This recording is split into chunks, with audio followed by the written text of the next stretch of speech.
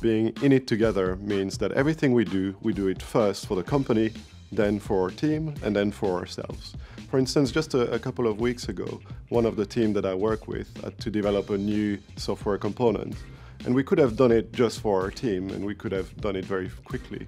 But instead, we felt let's spend an extra two days so that we can make it very reusable you know, by, by other teams. And so we decided to do that because we felt that was the best decision for the company.